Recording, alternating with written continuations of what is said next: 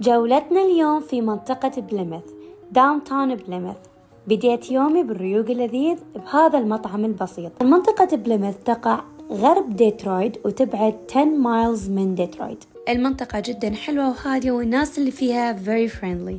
طبعا لأن في أيام الأسبوع والصبح فتشوفون الشوارع فاضية لكن في نهاية الأسبوع والعطل راح تكون زحمة كلش من الناس. منطقة بليمث مشهورة بال event ات اللي يسوونها أكثر من 100 event في السنة. هذه الحديقة والنافورة موجودة في نص منطقة ال downtown بليمث وهناك كنت قاعدة أشم رائحة الورد الجميلة اللي يعرف شنو نوع هذا الورد يكتب بالتعليق. وأنا أتمشى شفت هذا المحل من المحلات اللي أنا كلش أحبها لأن بيه الغراض اللي أنا أحبها من أخشاب وأمور أخرى.